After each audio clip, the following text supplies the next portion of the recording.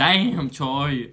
Hey, hey, hey, LeeRy30 here. Welcome back to a brand new reaction video on my channel. I hope you're all having an awesome day. So before we get straight on into this, I just want to say quickly that my videos for this year, I'm starting to plan out and I will get going with them really soon.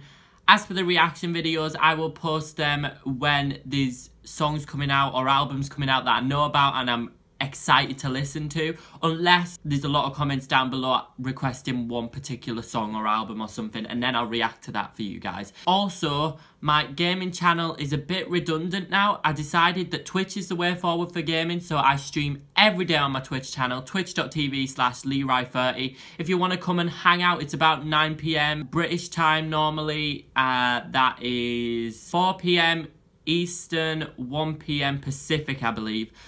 But anyways, let's get into this reaction of My My My by Troye Sivan. Let's do this. Ooh. Whoa.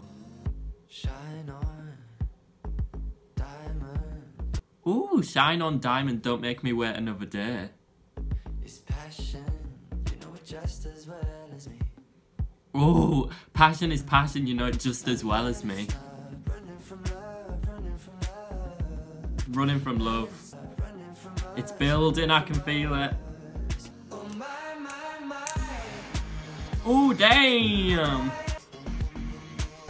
Oh, did you hear that in the background there? Oh um, uh, my, um, my, um, my, my. They're like deep. I've got my tongue between your teeth. Oh my gosh. Damn, Troye. Let's start running from us. What? Why would you run from yourselves? I got every night with you. Living through every moon. Oh, I like that. Living for your every move because when you're so in love with someone, like, oh. Ooh, this is nice. I like the backgrounds in this. Should be the last night we're apart. Ooh, I like that. The oh my my my before the instrumental kicked in.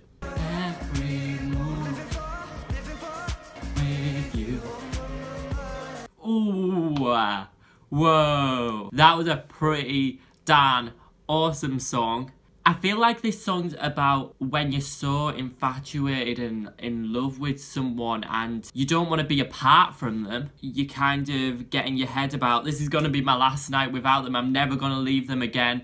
We're going to spend all our nights together. I'm going to watch every move because like I love you so much.